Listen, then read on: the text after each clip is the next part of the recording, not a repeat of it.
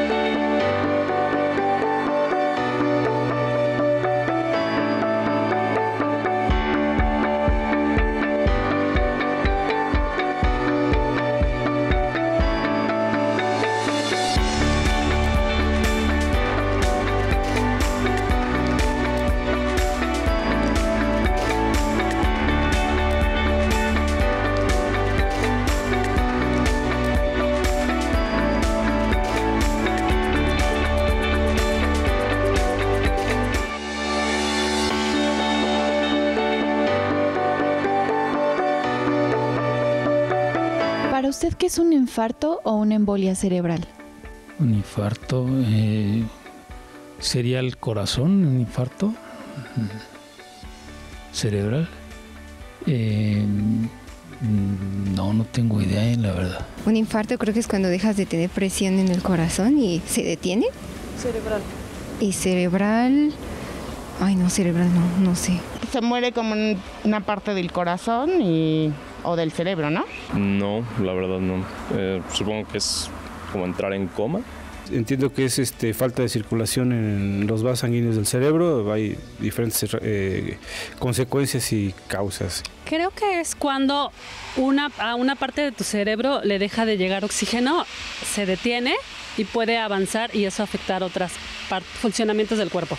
¿Cómo sabe que alguien está teniendo un infarto cerebral? Que yo recuerde, primero empezó como con mucha presión arterial y después se desmayó la persona. Híjole, la verdad no estoy muy, no lo recuerdo bien. A lo mejor algo que he leído tendría que ver con que estén desorientados o este, empiecen a, a repetir las cosas. Por lo que sé de mi abuelo, o sea, simplemente se desubicó totalmente y como que perdió el sentido de, pues sí, de la realidad, o sea, como quién era, dónde estaba. No, igual desconozco qué síntomas presente. No lo sé, pero imagino que te caerías o ha- habría algo en tu movilidad o en tu gesticulación que determine que te está pasando algo. ¿Sabe qué causa un infarto cerebral? No, la verdad no, no sé, pero sí estaría bien saberlo para tratar de, de evitarlo. No tengo ni idea. No, la verdad no estoy seguro. Creo que en su caso fue algo con la circulación, pero y bueno, y la edad, pero no estoy seguro de que lo causa.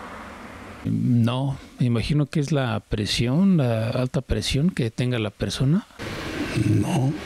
A veces se menciona que porque uno no controla las emociones, porque los impulsos son muy fuertes, no, no- uno no se sabe controlar eh, la intensidad ¿no? de la emoción. Otros dicen que excesos, sean drogas, sea alcohol. Bueno, al principio dijo que, di- dije que era la falta de oxigenación, entonces es la falta de oxigenación.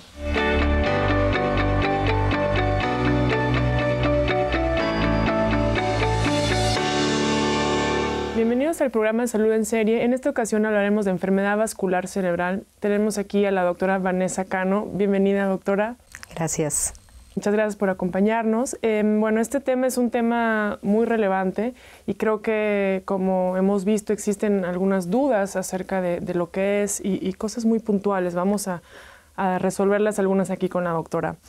Este, doctora, ¿nos puede comentar qué es la enfermedad vascular cerebral? Claro. Primero que nada, agradezco mucho la invitación. Sin, em, eh, sin duda la enfermedad vascular cerebral es un tema que todos deberíamos conocer, todos, médicos, no médicos, todo el personal, tanto que está en los servicios de urgencias como la población en general, porque una enfermedad vascular cerebral le puede suceder a cualquiera. ¿Y qué es lo que pasa? Bueno, pues la enfermedad vascular cerebral es o la ruptura de un vaso en el cerebro o que un coágulo tape un vaso del cerebro. Entendiendo entonces que tenemos dos tipos de enfermedades, una donde hay infarto del cerebro, donde muere una parte del cerebro, y otra donde sangra una región del cerebro secundaria a la ruptura de este vaso. Exacto, entonces eh, el sangrado le llamaríamos una, una, enfermedad vascular hemorrágica, ¿cierto? Así es. lado isquémica, para definirlo poquito más. Muy bien, doctora. Este, vamos a ver una cápsula de esto que comenta la, doctora sobre las diferencias del, del EBC isquémico y hemorrágico.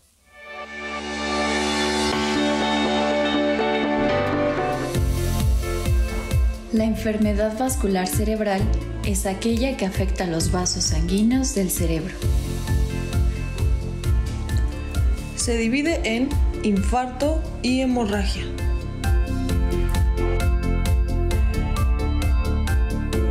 El infarto ocurre cuando se obstruye un vaso sanguíneo en el cerebro.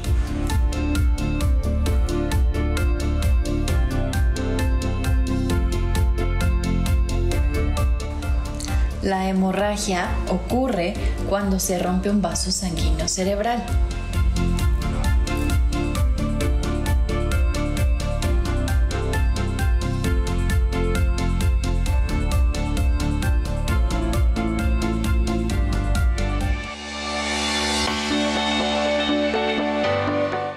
En la cápsula, pues nos explica muy bien estas diferencias.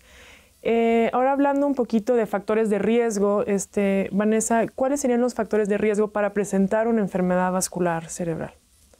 Entendiendo que hay dos tipos de enfermedad vascular cerebral, pueden tener factores de riesgo diferentes, aunque muchos de ellos son similares. Por ejemplo, un paciente que tiene lo que eh, se llama infarto cerebral eh, o o una enfermedad vascular cerebral isquémica, la principal o el principal factor de riesgo es tabaquismo, que ese es un modificable. Creo que esa es una de las primeras cosas importantes a decir a la población, que la enfermedad vascular cerebral, ya sea por ruptura de un vaso o que éste se tape, puede ser prevenible, con los factores de riesgo que perfectamente usted pregunta.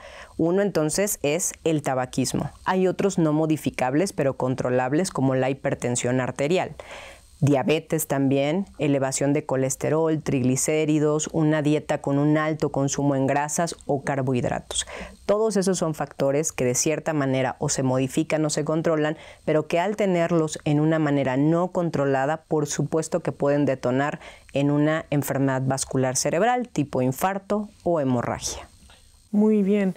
Y en relación a la frecuencia, ¿en qué población es más frecuente? ¿En hombres, mujeres? Este, ¿Hay alguna pues sí, ¿qué tan frecuente es?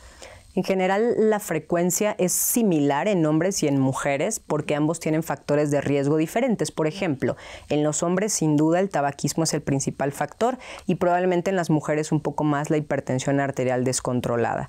Entonces, no hay como una diferencia tan marcada en género, eh, pero donde sí hay una, una diferencia, por ejemplo, es en el país en el que se está. No es igual la frecuencia los nuevos casos cada año que se presentan en un país como nuestro país, como México, que es un país en vías de desarrollo, comparado con países que ya tienen un alto desarrollo.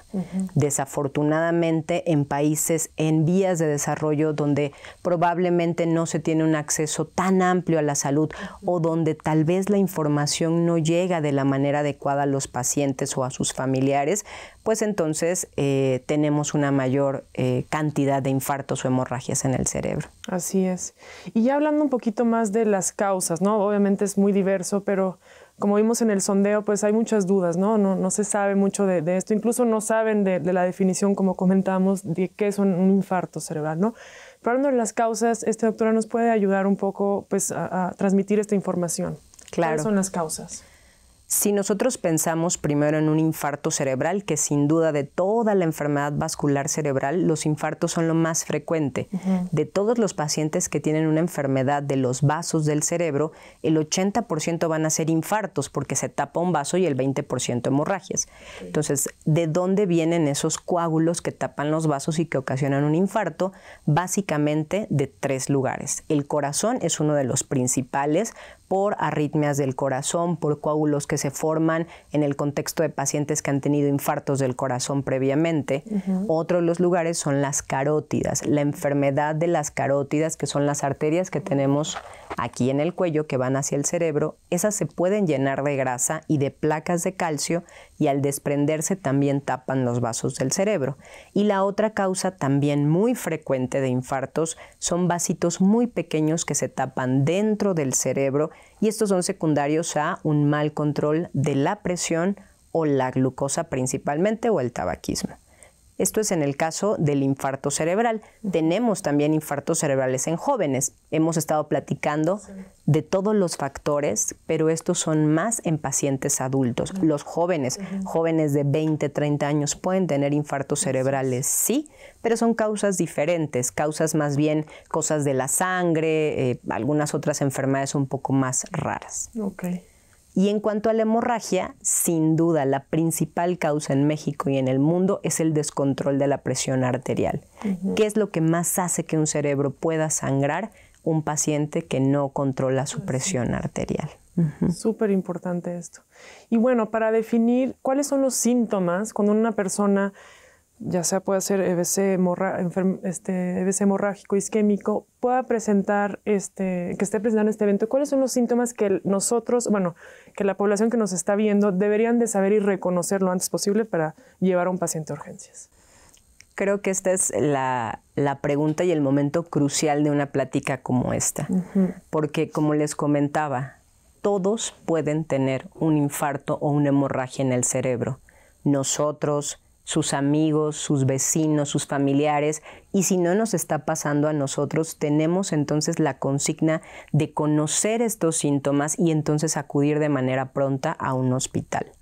¿Cuáles son los síntomas? Básicamente un paciente que súbitamente, de un momento a otro, pierde la fuerza de la mitad del cuerpo, pierde la sensibilidad de la mitad del cuerpo y pierde la capacidad para hablar de manera normal. Entonces, si ustedes están con algún con algún familiar, algún amigo que de pronto ya no puede levantar el, el brazo, no puede levantar la pierna o no dice las palabras correctamente, es un dato de alarma para llevar a ese paciente de forma urgente a un hospital. Así es. Incluso existen estas nemotecnes, bueno, estas Em, siglas para detectar o poder como hablar un poquito más de esto, que es el FAST en inglés o camaleón, por ejemplo, en español. Vamos a ver eh, a continuación una cápsula explicando un poco más lo que dice la doctora de cuáles son los síntomas este, de esta enfermedad. Adelante. Cuando se presenta un infarto cerebral, hay que actuar con rapidez. Seguir la estrategia camaleón para detectar los síntomas. Cara, podés notar debilidad en la mitad del rostro. Mano, pérdida de la capacidad para levantar la mano y el brazo. Lenguaje, pérdida de la capacidad de pronunciar palabras. Si notas cualquiera de estos síntomas, dale on al teléfono y llama al 911. En un infarto cerebral, actúa rápido. Usa la estrategia camaleón. ¿Sabías que el infarto cerebral es la tercera causa de muerte a nivel mundial? y una de las principales también en nuestra región? ¿Sabías además que es una de las principales causas de discapacidad en adultos? Un infarto cerebral puede ser isquémico si se produce por el bloqueo en una arteria del flujo que lleva sangre al cerebro, o hemorrágico si es por la ruptura de un vaso sanguíneo dentro del cerebro. Utiliza la estrategia camaleón para reconocer los síntomas. Cara, debilidad en la mitad de la cara. Mano, debilidad en una mano y brazo o pierna. Lenguaje, dificultad para decir palabras y comprender el lenguaje. Dale on al teléfono y llama al 911 lo antes posible, ya que cada minuto que pasa en un infarto cerebral daña miles de neuronas que pueden dejar secuelas severas. Entre más rápido se pueda restablecer el flujo cerebral en un infarto cerebral isquémico, hay mayor probabilidad de recuperación. Por eso las primeras tres horas desde el inicio de los síntomas son muy importantes para poder tratarlo adecuadamente. Las personas con obesidad, presión arterial alta o diabetes maltratadas, problemas de colesterol y fumadores son los que tienen mayor riesgo de sufrir un infarto cerebral. Actúa con rapidez. El tiempo es cerebro.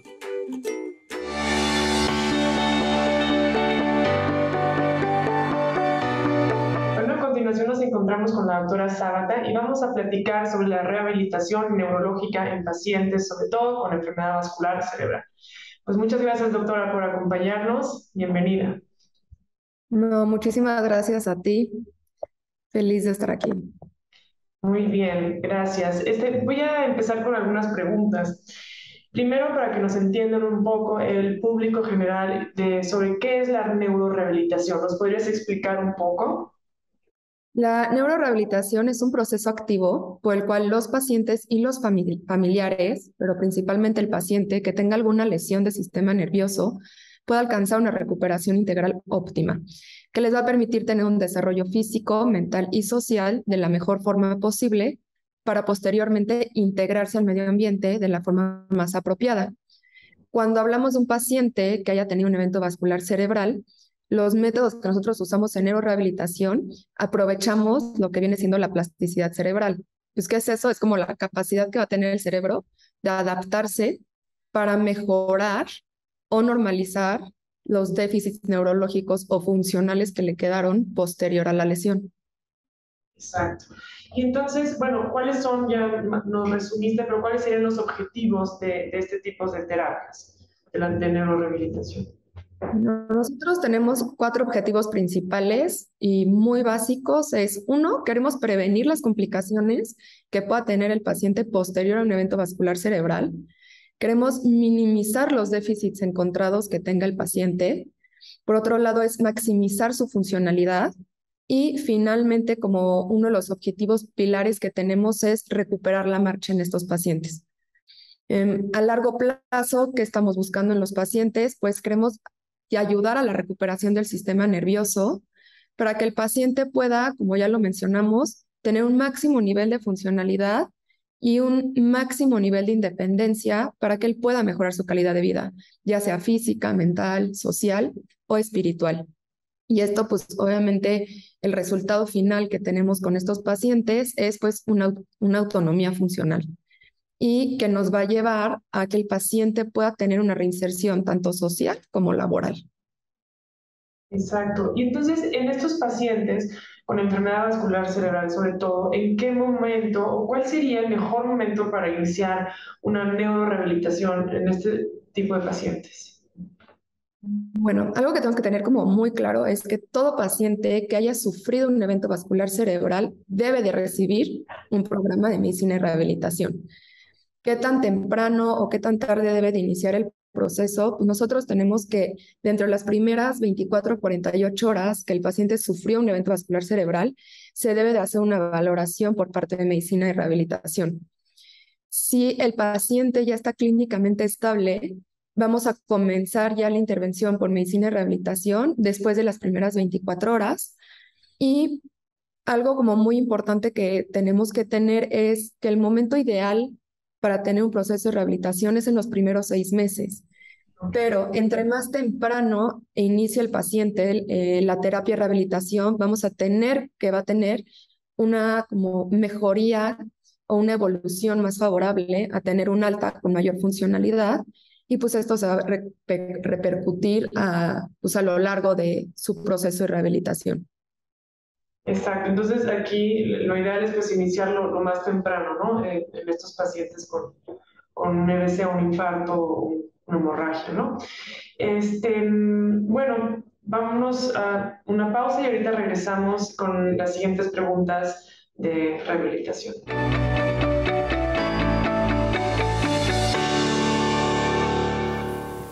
Muy bien, a continuación vamos a una entrevista por Zoom con el doctor Juan Manuel Calleja y el doctor Juan José Méndez. Adelante.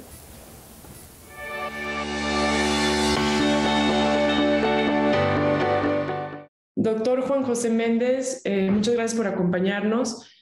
Eh, le voy a hacer unas preguntas acerca de la enfermedad vascular cerebral, eh, sobre todo sobre la prevención, que es algo muy importante que pues, nuestra población debe de tener conocimiento. ¿Qué nos podría decir o cómo evitar o qué medidas podemos tener para eh, prevenir el infarto cerebral y si se puede hacer algo para prevención? Muchas gracias, Michelle. Eh, bueno, hay varias medidas que se pueden tomar para evitar un infarto cerebral y también para evitar que esté recurriendo. Pero la prevención primaria, lo que nos interesa es que el paciente tenga un control de las enfermedades que puedan propiciar un infarto cerebral, como lo es hipertensión y diabetes tomarse bien las medicinas, llevar bien las recomendaciones que les dé su médico, por ejemplo, dieta, hacer ejercicio. Respecto a dieta, por ejemplo, tomar, eh, comer menos sal o eh, respecto al ejercicio, pues hacer ejercicio un mínimo de 30 minutos por, eh, por día en la mayor parte de los días de la semana. Otra cosa es este, dejar de fumar, muy, muy importante. Eh, respecto al alcohol, por ejemplo, eh, si es mujer, de acuerdo a las recomendaciones internacionales, es tomar menos de una bebida o menos al día, y si es hombre, dos bebidas o menos al día, en la medida de lo posible, y obviamente, junto con todo esto, bajar de peso. Esas son las medidas, digamos, de base, y ya después de paciente en paciente se puede hacer alguna recomendación en específico.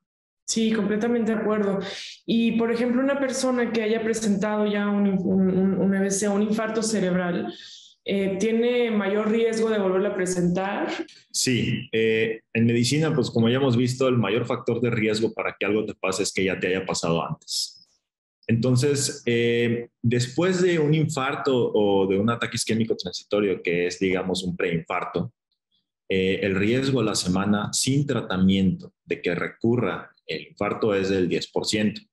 A un mes, esto aumenta al 15% y a los tres meses es del 18% al año se estabiliza un poquito y es al 10%, a los 5 años sin tratamiento es de 25% y a 10 años, si el paciente no ha llevado ningún tipo de tratamiento, puede ser hasta el 40%. Entonces, eh, pues sí, definitivamente el riesgo queda latente después de haber sufrido un infarto cerebral y ya después este puede ser mayor o menor de acuerdo a la causa que lo provocó. Doctor, nada más para explicar un poquito para el público qué es un ataque isquémico transitorio o, por qué decimos que tiene mayor riesgo un paciente cuando tiene esta presentación. Por supuesto, Michelle. Un ataque isquémico transitorio son las manifestaciones neurológicas que puede tener un paciente que duren normalmente menos de 24 horas, en las cuales el paciente puede tener algún déficit neurológico, como por ejemplo no poder hablar adecuadamente, o no poder mover la mitad del cuerpo, no tener un buen sentido, eh, pues no, no, tener una buena sensibilidad en alguna parte del cuerpo. Y esto es transitorio, esto se va. Aún así, el cerebro ya queda con algún daño.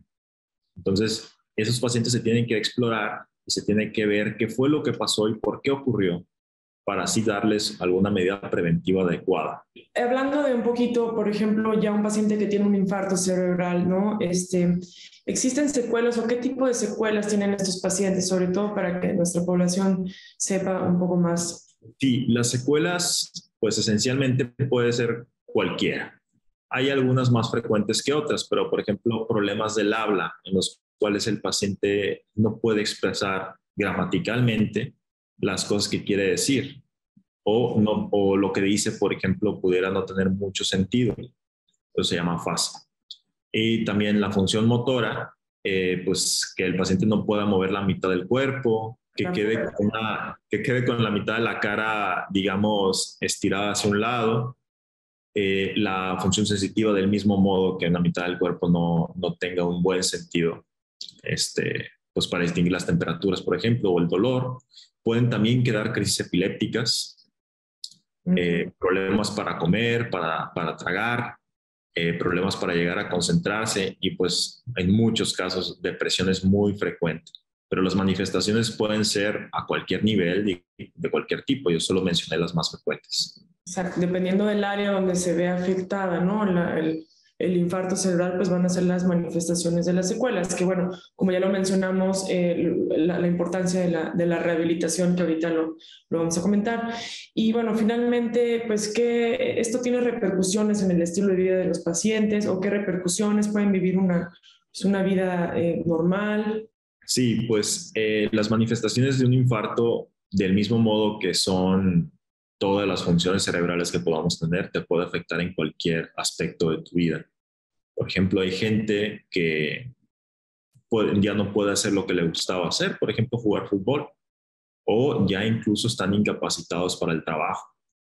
Hay casos ya más extremos, que tampoco son tan raros, que ya quedan totalmente a cargo de su familia. Hay gente que tiene que quedar conectada con alguna traqueostomía, una gastrostomía. Entonces, sí, definitivamente puede afectar a cualquier nivel de tu vida y pues, por eso es lo importante de la prevención. Pues muchas gracias Juan José por acompañarnos y por tu tiempo. Agradezco mucho tu, tu, tu esfuerzo y estar aquí con nosotros. Muchas gracias. Muchísimas gracias, Mitch. Pues ya saben, estoy aquí a la orden y pues definitivamente la prevención es una parte importantísima del infarto cerebral. Gracias. Así es. Nos encontramos aquí en Salud en Serie viendo el programa de enfermedad vascular cerebral con la doctora Vanessa Cano. Vamos a continuación una pausa y posteriormente vamos a continuar con las entrevistas con los doctores en Zoom y regresamos.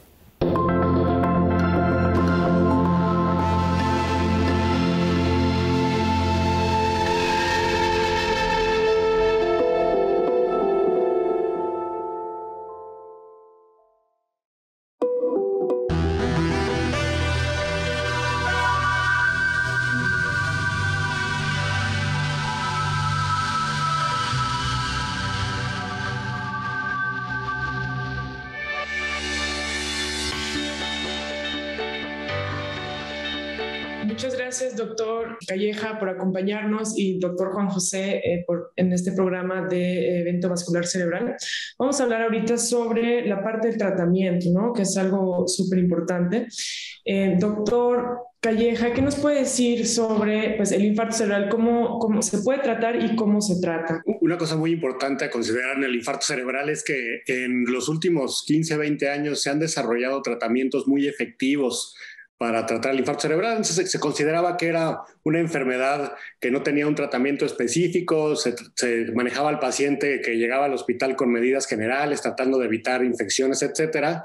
Y, en los últimos años se han desarrollado tratamientos muy efectivos, que son los tratamientos de reperfusión. ¿Qué es esto? Es que se está tapando una arteria por alguna razón, por algún coágulo, y le podemos poner al paciente ya sea un medicamento para romper ese coágulo y restablecer la circulación al cerebro, o hacer un cateterismo para abrir esa arteria y restablecer la circulación, y ese cerebro que está dañado, pero que no está irreversiblemente dañado, puede recuperarse. Entonces es muy importante considerar esto que se ha cambiado el perfil del infarto cerebral porque ya es una enfermedad tratable y para tratarla hay que llegar rápido al hospital. ¿Cuáles serían los tiempos, doctor, para, para tratar o para poder este, indicar un, tratamiento de reperfusión? Y ahorita que Juanjo nos ayude también con la parte intervencionista, ¿cuáles serían los tiempos de esto? Pues esa es, la relevancia de esto. Eh, para empezar, considerar que entre más rápido se trate al paciente, tiene más oportunidad tener una mejoría.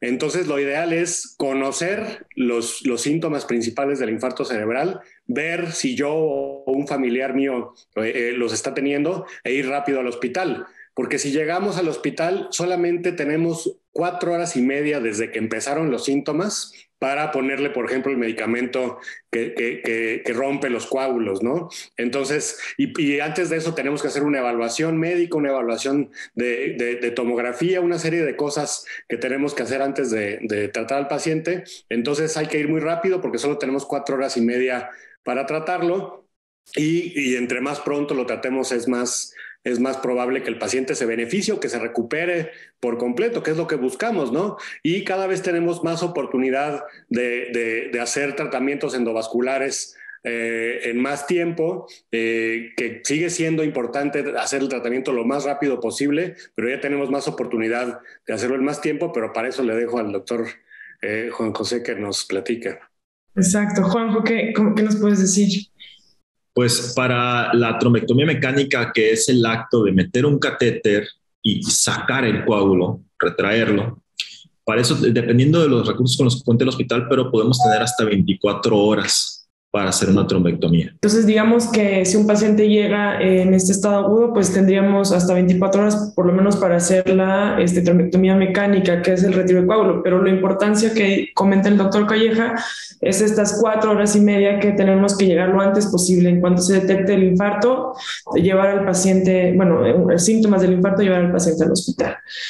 Este, y bueno, si ya pasó este tiempo, doctor, pues ¿qué, qué, qué, se, puede hacer o qué es lo, cuáles son las medidas que se pueden tomar en estos pacientes?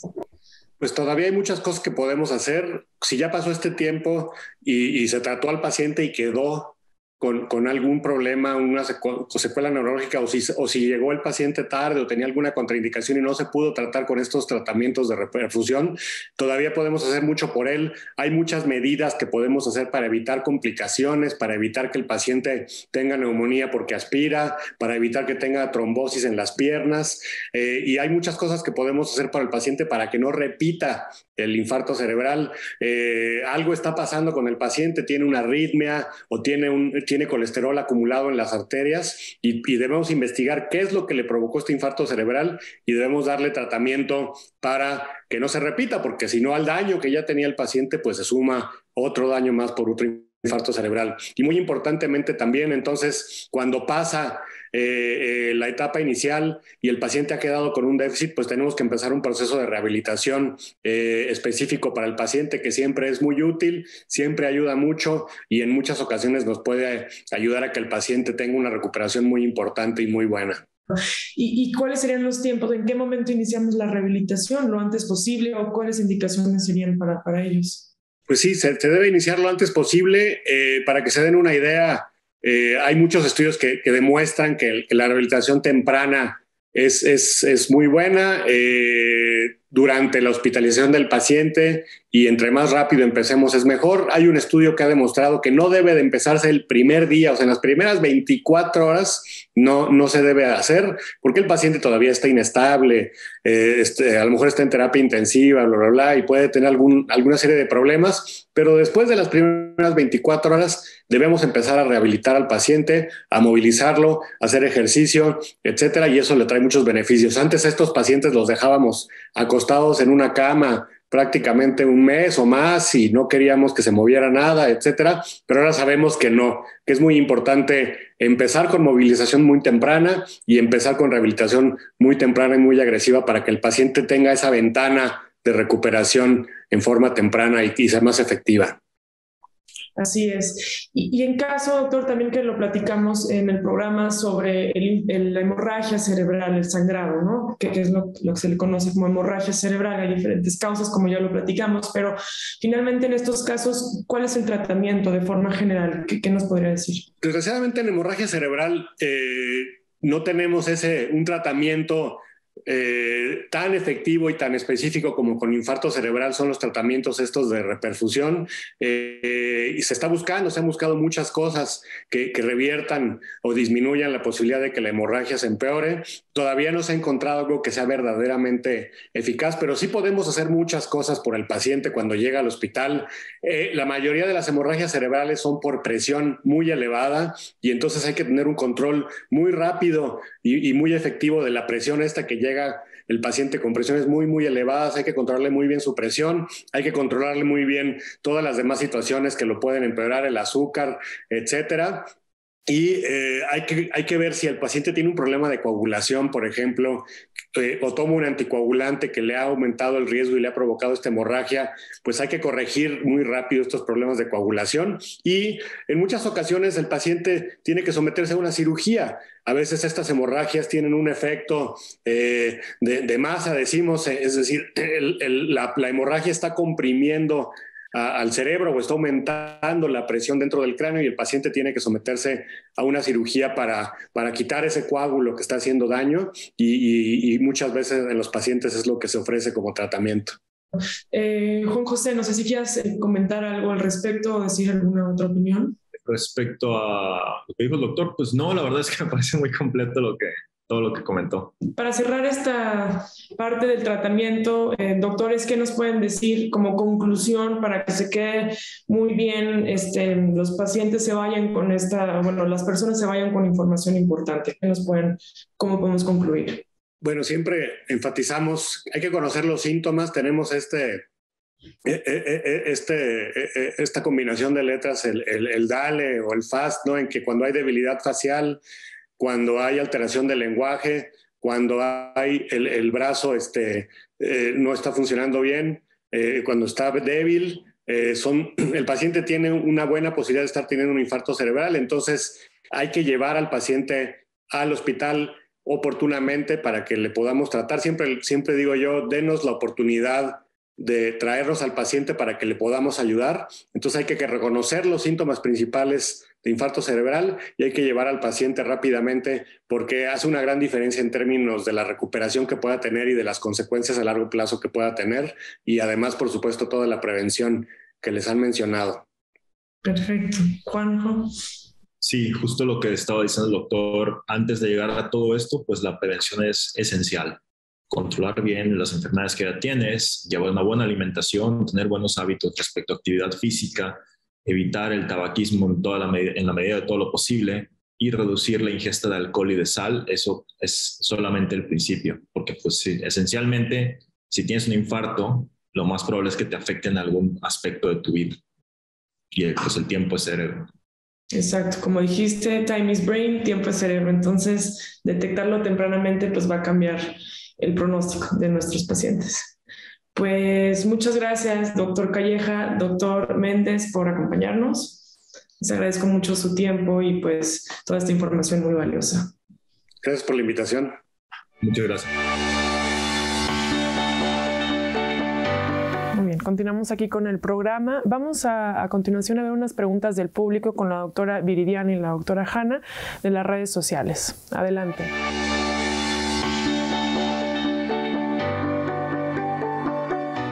Gracias, doctores. Tenemos preguntas del público en nuestras redes sociales. Por favor, escríbanos.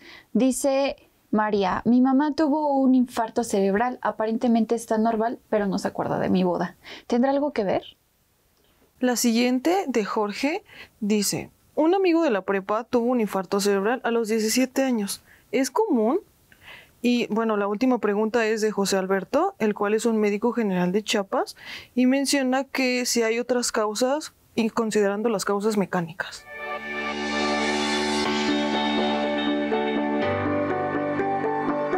Muy bien, doctor, ¿nos puede ayudar con esta primera pregunta que comentan de, de la boda que ya no recuerda la paciente?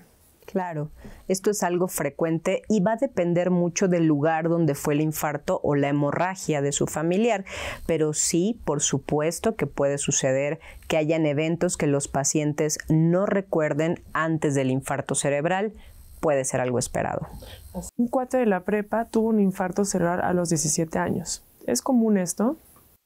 Los infartos en jóvenes como 17 años, claro que se pueden presentar, aunque no con la misma frecuencia de en pacientes adultos.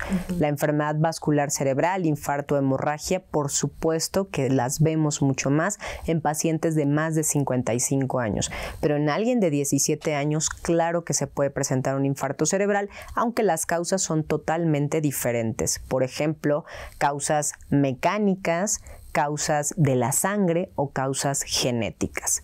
Cuando esto sucede, los síntomas son similares a los adultos y también es una urgencia y se debe ir prontamente a un hospital. Así es. Me gustaría también comentar eh, nada más en jóvenes, también no perder en cuenta que el consumo de algunas sustancias, eh, drogas, etcétera, pues puede ser una de las causas, sobre todo en este tipo de edad. Bien, doctora. Y en relación a, la médico general que pregunta sobre algunas causas mecánicas que existen de infartos. Esta es una excelente pregunta porque hay una en específico que es la disección de las arterias del cuello, específicamente de las arterias cervicales o carótidas que van en la parte anterior y las vertebrales que van en la parte posterior. En ocasiones con algunos tipos de manejos como masajes muy intensos o estos como acomodos que hacen a la columna pueden traccionar de forma importante el cuello y entonces cerrar o disecar las arterias del cuello. Entonces, esta es una causa mecánica que es muy frecuente en pacientes jóvenes. Así es, y muy desconocido también. Es muy importante también tocarlo. Pues muy bien, doctora. Entonces, para definir ¿cuáles serían los tiempos ideales? ¿En qué momento debemos llevar, o bueno, la persona con que está presentando un infarto cerebral al hospital? ¿Cuáles serían los tiempos ideales este, a la, detección? Claro.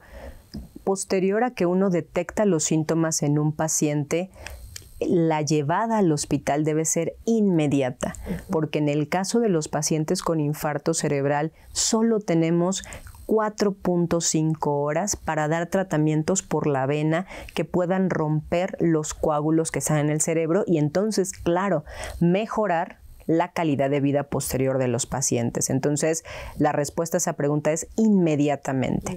Además, si esto no fuera un infarto, sino fuera una hemorragia, que de forma inicial se pueden presentar igual, la mortalidad de los pacientes con hemorragia es muy alta y entre más pronto se llegue a un servicio de urgencias y se empiece el tratamiento adecuado, por supuesto que el paciente tiene una mejor probabilidad de que le vaya muy bien. Así es, exacto. Súper importante estos tiempos y detectarlo oportunamente. Y bueno, hay otra mm, entidad que nosotros, eh, los neurólogos, lo llamamos como un ataque isquémico transitorio o un TIA por sus siglas, siglas perdón, en inglés, eh, que es algo pues relativamente frecuente también, que me gustaría que la doctora hablara un poquito más de ella. ¿Nos puedes platicar un poco más? Claro los ataques isquémicos transitorios o que se llaman preinfartos cerebrales, como para que se, sea más entendible, es o se caracteriza porque el paciente tiene estos mismos síntomas de infarto. Pierde la movilidad, la sensibilidad y el habla de manera normal, pero estos síntomas solamente duran minutos, en ocasiones horas, y remiten totalmente estos síntomas también son síntomas de gravedad. ¿Por qué? Porque nos está avisando que hay algo que está aventando coagulitos al cerebro. La ventaja es que si es un ataque isquémico transitorio, el cerebro logró romper esos coagulitos y tenemos nosotros médicos y el paciente la oportunidad de frenar lo que está sucediendo y que entonces el paciente no tenga ningún infarto y no quede con una discapacidad. Entonces, estos ataques transitorios también deben llegar a urgencias. Completamente de acuerdo. Y entonces, em, ya una vez que está el paciente en urgencias, digo, esto es algo más para nosotros los médicos, pero para que sepa nuestra población qué estudios usualmente, aparte de la parte clínica eh, evidente, se hacen en este tipo de pacientes, en un hospital. Claro, y muchas veces pensaríamos tanto para las personas no médicos y médicos que nos están viendo, que requerimos estudios sumamente avanzados para hacer el diagnóstico y dar el mejor tratamiento. Y realmente no es así. Solo necesitamos una tomografía del cerebro. Es lo que más necesitamos de manera inicial para poder dar un tratamiento, como comentábamos, que rompa esos coagulitos del cerebro. Y eso lo hay en cualquier hospital. Y esta pregunta muy atinada me permite comentarles a la población que si su familiar, si algún conocido está teniendo estos síntomas, deben llevarlo no a un consultorio pequeño, tiene que ser a un hospital donde tengan la capacidad de este tipo de estudios y sobre todo de dar el tratamiento oportuno. Muy bien, y en relación a lo que hablábamos, este, me gustaría retomar, que, que no lo hemos dicho, este, un poquito cómo es la diferencia, o más bien coloquialmente cómo se le conoce, a una enfermedad vascular cerebral hemorrágica o isquémica. La hemorrágica es derrame ¿no? cerebral, que así lo conocen, y isquémica es embolia. Pero recuerden muy bien que son dos entidades, una es sangrado, el otro es isquemia o infarto. ¿no?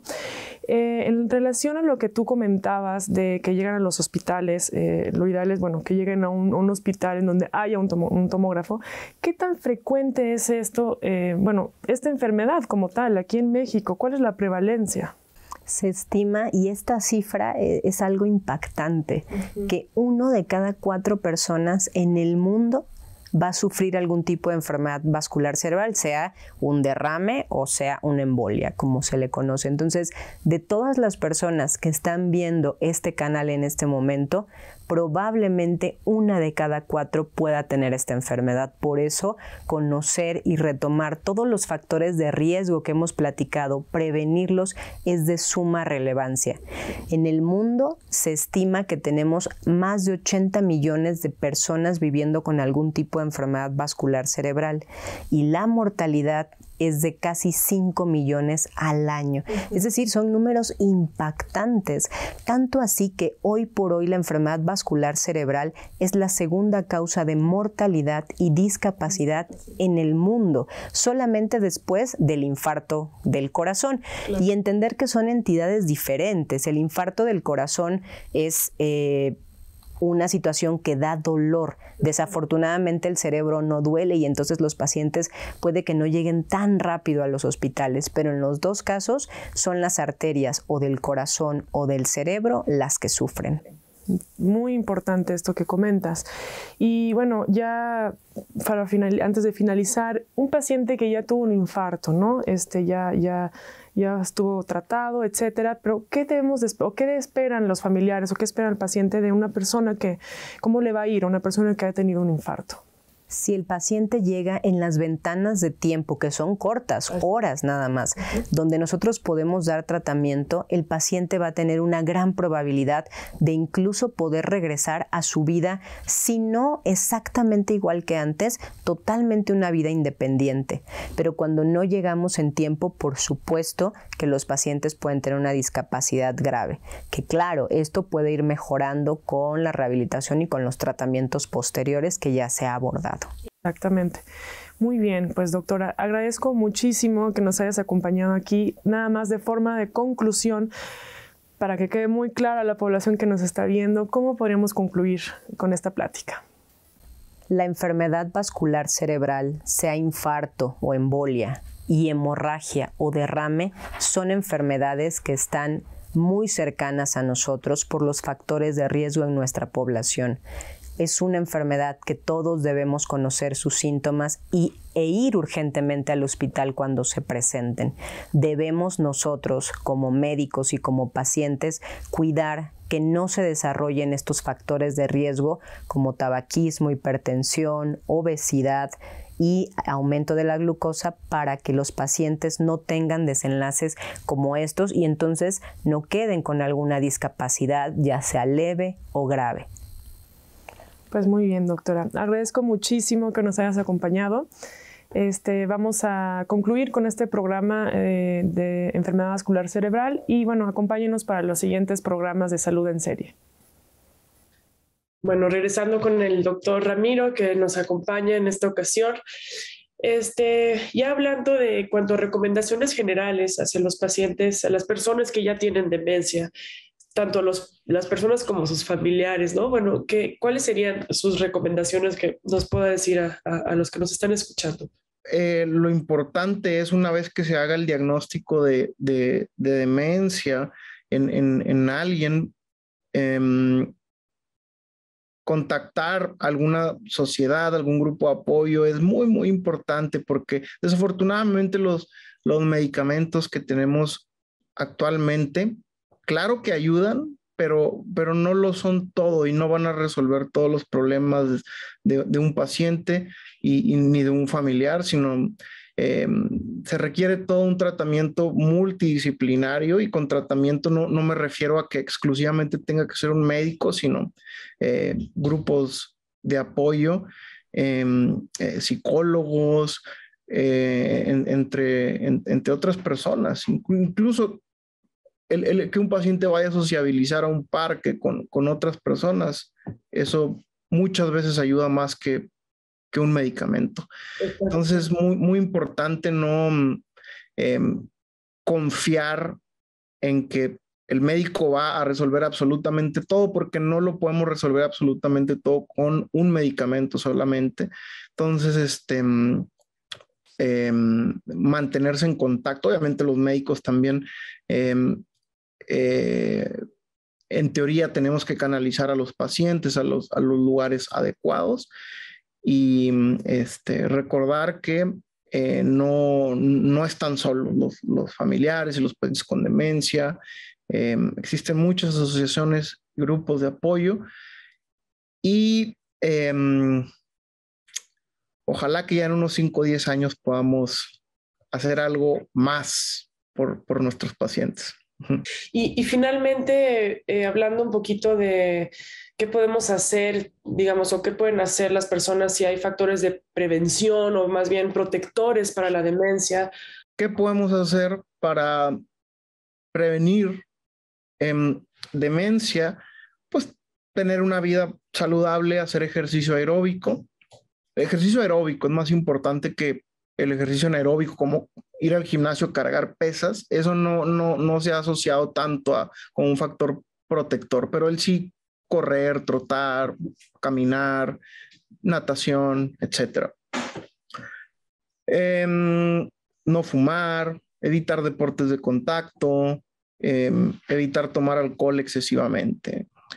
Hay otro factor no modificable que no mencioné, eh, pero eso es muy raro, muy raro. La, la, mayoría de los casos de demencia no se asocian a esto, que son los genes autosómicos dominantes. Esto quiere decir que si un paciente con enfermedad de Alzheimer tiene una enfermedad de Alzheimer que le llamamos genética, el riesgo de que sus descendientes vayan a tener el, mismo, la misma enfermedad, es decir, Alzheimer genético, es de un 50% por cada hijo que, tenga esa persona. Entonces, este, estos casos son menos comunes, las demencias eh, con heredabilidad eh, autosómica dominante, como, como el prototipo que, que, es la enfermedad de Huntington, ¿no?